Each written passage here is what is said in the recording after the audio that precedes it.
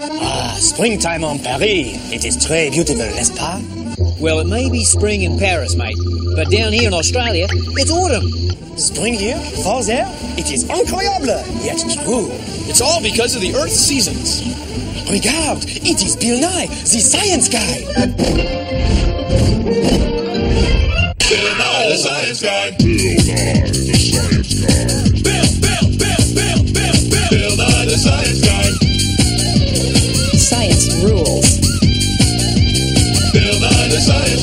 Inertia is a property of matter. Bill, Bill, Bill, Bill. Bill Nye, the science guy. Bill, Bill, Bill. T minus seven seconds. Bill, Bill, Bill. Bill Nye, the science guy. Ah, the seasons. It gets cold in the winter. Flowers bloom in the spring. We get lots of sun in the summer. And leaves fall in the fall. See, the Earth's seasons affect every living thing on Earth. That's right. Seasons affect the way everything grows and changes every year. The reason we have seasons on Earth is because the Earth is tilted. Now, let's say that this is the Earth, and there's an imaginary line going through the middle of it called the Earth's axis. It's tilted, and it stays tilted as the Earth goes around the Sun at 100,000 kilometers an hour. That's a billion kilometers every year. Now, not only is the Earth going around the Sun, but the Earth is spinning. And when you're on the part of the Earth that's toward the Sun, it's daytime. And when you're on the part of the Earth that's away from the Sun, it's nighttime. Now, the seasons work in kind of the same way. When the part of the Earth that you're on is tilted toward the Sun, it's summertime there. So when it's summertime here at Nye Laboratories, on the other side of the world, it's wintertime in places like South America and Australia. Hey, Bill, your shoes untied. Oh, thanks. Then, when the part of the Earth that we're on is tilted away from the sun, it's wintertime here. And it's summertime on the other side of the world. Isn't that wild? All because Earth's axis is tilted. That's the reason for the seasons. Do you notice, though, that the axis about which the Earth turns is not straight up and down? It's tilted to one side, at an angle of 23 and a half degrees from the perpendicular. This has a lot to do with why we have different seasons, as we shall see. Let's say that this plastic globe of science is like the Earth, and we have two solar panels mounted on it. Now, solar panels convert light directly into electricity. So, right now, these two panels are making enough electricity to run these two little motors. Now, right now, both motors are going about the same speed. Now, notice that we have one panel in the northern half of the Earth, the northern hemisphere, and one panel in the southern half of the Earth, the southern hemisphere. They're both receiving about the same amount of light. But let's say it's uh, summer here at Nye Laboratories in the northern half of the Earth, the northern hemisphere. That means that the Earth would be tipped toward the sun about like. Now look, the motor in the southern hemisphere is just barely moving, while the motor in the northern hemisphere is spinning like crazy.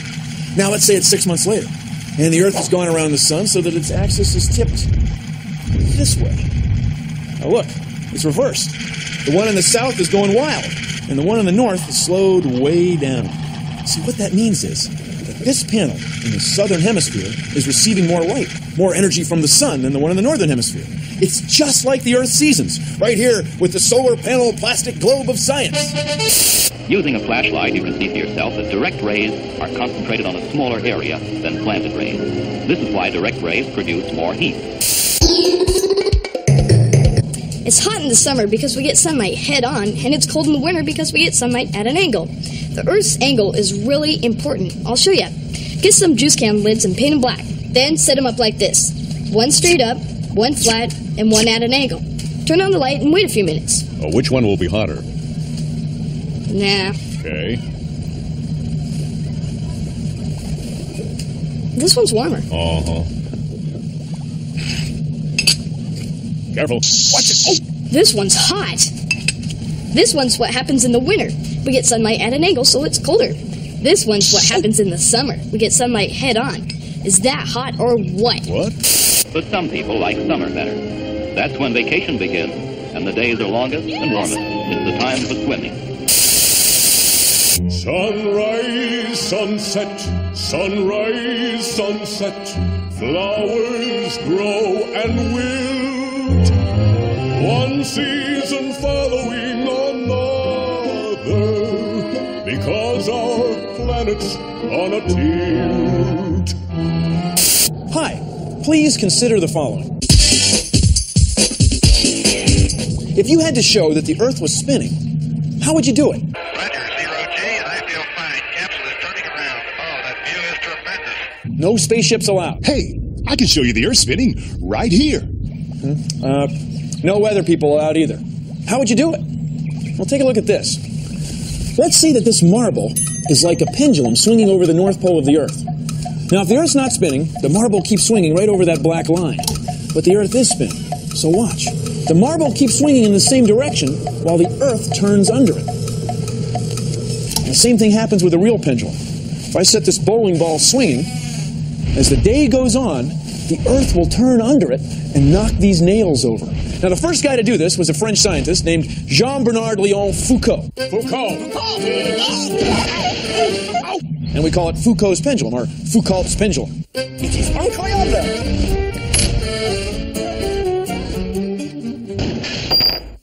So, what's so important about knowing that the Earth is spinning? Well, it's no big deal. It's just the reason that the sun rises and sets. It's the reason that the moon rises and sets, and it causes all kinds of weather. That's what's so important. Okay. Thank you for joining me on Consider the Following.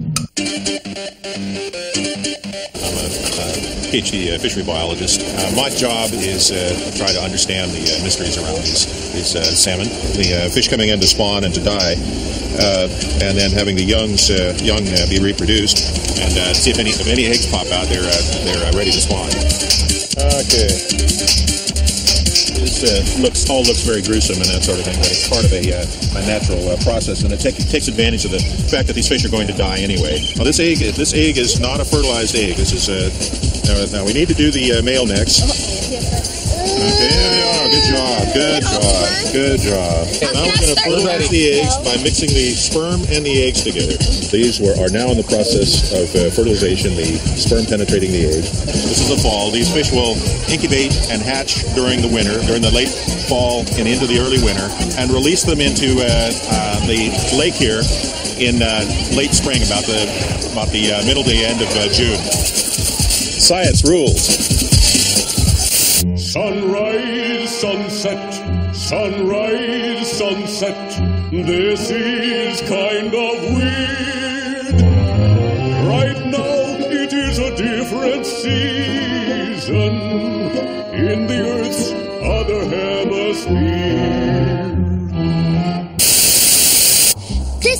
Alaska in August. It's about 11 o'clock at night right now. That's because it's summer and our days are longer. During the summer season, we only get a couple hours of darkness a day. Wait a minute, August? Well, it may be summer for my amigos in the northern hemisphere, but down here in the southern hemisphere, August is winter, and it's mucho frio. So how can summer in Alaska Be winter in Argentina. Let me give you a tip. It's because the Earth goes around the sun, and the Earth's axis is tilted. So the Earth takes one year to go around the sun, one year for the winter holidays, one year for Valentine's Day, and one year for your birthday to come around. You get the idea. A year is 365 and a quarter days long, because that's the amount of time it takes the Earth to travel around the sun. Ancient cultures noticed that with each season change, the moon went through its phases three times. So with four noticeable season changes, multiplied by three moon cycles, they came up with 12 months, one year. And we still use them. Not that bad. Thank you. The Earth is spinning around an imaginary line we call the Earth's axis. And the axis is tilted. But here's the thing it stays tilted the same way in space through the whole year. So watch. As the Earth goes around the sun, the tilted axis makes different parts of the Earth be tipped toward or away from the sun at different times of the year. The axis staying pointed the same way in space is the reason for the seasons. You can make your own cardboard sundial of science and see for yourself that the Earth is tilted. The Earth is spinning, so it makes the sun come up and set every day, and that makes the shadow move around like a clock. That's why we call it clockwise, because the shadow on a sundial goes the same directions as the hands on a clock. Of course, we could have called it sundial shadowwise. Oh? Hmm. Well, anyway, you want this angle here to be the same as your latitude on a map or a globe.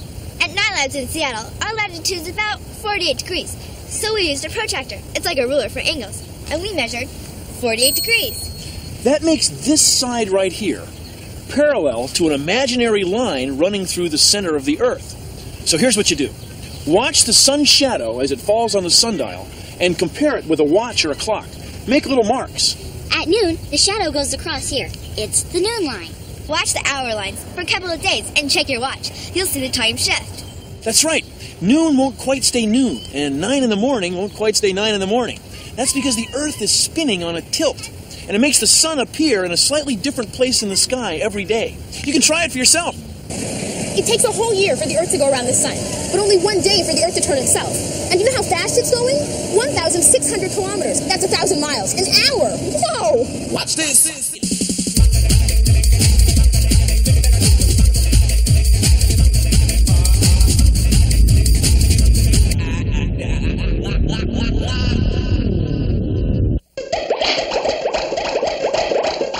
Watch this. If I hold this card like this, more light hits it than if it's tilted, like this. That's why different parts of the Earth receive different amounts of light at different times a year. Of course, the Earth isn't flat like a card. The Earth is round like a ball. Let's say the sun is over here. Huh. Right now, a lot of light is hitting this half, whereas up here, the light's more spread out. So right now, it would be summer here and winter there. Half a year later, be winter here and summer there. Of course, it's halfway in between, it's spring or fall. Ha ha!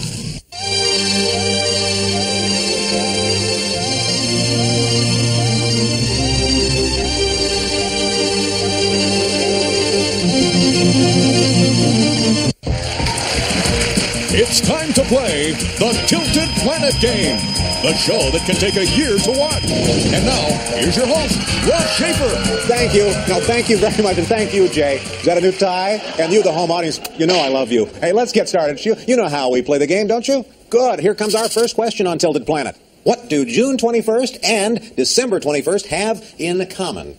What do the dates June... Yes, okay, Queen. The solstices. Yes, the solstices, they are. They're the longest days of the year. That's absolutely right. Yes, in the southern hemisphere, the longest day is right around December 21st. In the northern hemisphere, it's around June 21st. Of course, in the northern hemisphere, the December solstice is the shortest day, but it's still called a solstice.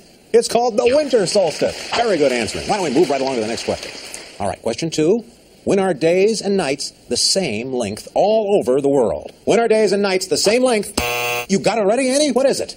The equinoxes. Equinoxes are Through around March 21st and September 21st. That's absolutely correct. Well played. The equinoxes are when summer turns into autumn or fall and winter turns into spring. Well, you each have a score now. We have to go to the toss up, the big tiebreaker. Are you ready? Take your time on this question, won't you? What familiar planet, what familiar planet has seasons that are caused by the planet's axis being tilted? The planet axis being tilted. Write your answer down. When you're ready, you let me know. Take your time. You're ready? How about you, Annie? Are you ready? Annie, what do you say? Earth. Okay, Jaqueen, what do you say? Mars. She says Mars. Judges? Uh huh. Okay. You're both right. You're both right, yes. Mars has seasons for the same reasons Earth does, because it's tilted. Jay, tell them what they won. Congratulations! You'll carry home a case of New England maple syrup. The position of the sun in the sky changes from day to day and from month to month, so the length of shadows changes.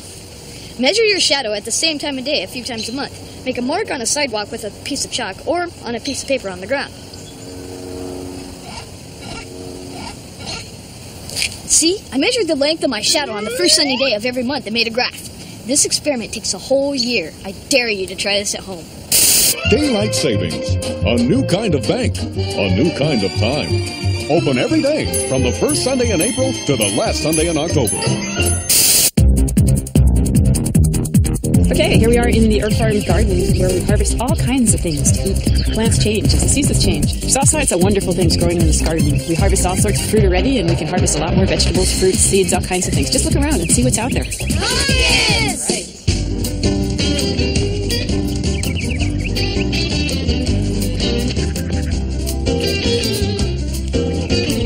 I'm gonna make like a little happy face out of it. Mm, I guess I'm gonna make a funny face with only three teeth.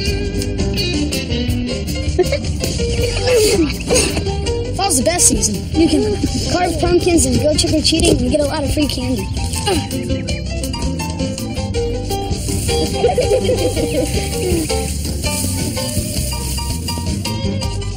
Where's his arm? It's right there. We need a pumpkin for his. Yeah. Pumpkin is coming. Perfect. Cool. Yeah.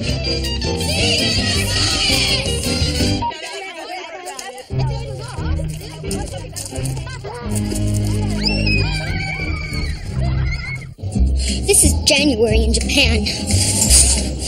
Cold. V- v- very cold. Well, I'm sorry to hear that, mate. But to me, December, January, February, that's summertime. Yet every year, I get these things in the mail. So, so my winter is your summer. Spot on, mate. That's partly because the Earth is tilted. Tilted. May I offer you some hot cocoa? Thanks. While many of us in our country are enjoying our Christmas vacation in the snow, in Chile, children spend Christmas swimming because Christmas comes in the summertime for them. This is the Earth. This is a tilted Earth. A tilted Earth is why we have seasons. Any questions? The what?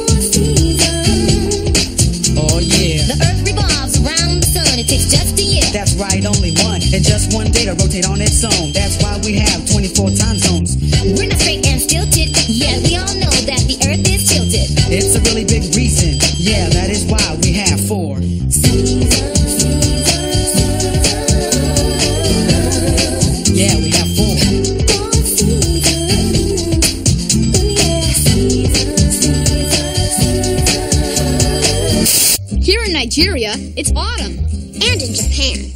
And Alaska. Oui, oui. Non, Paris, c'est l'automne aussi. Down here in the southern hemisphere, it's spring, isn't it, mate? Do you know why?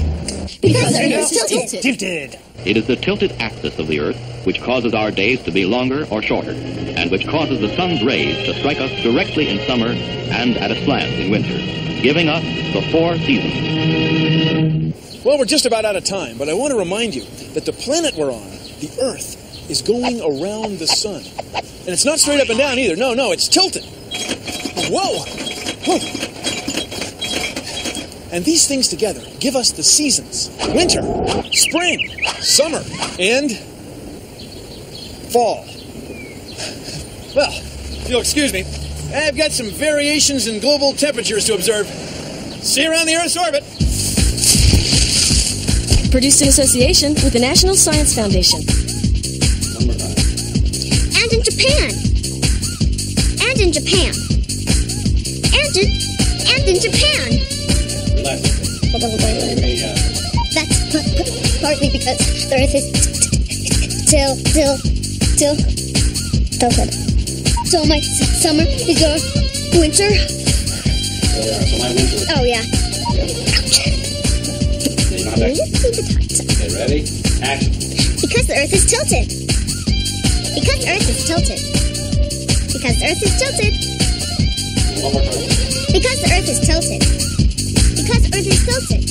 Because the Earth is tilted.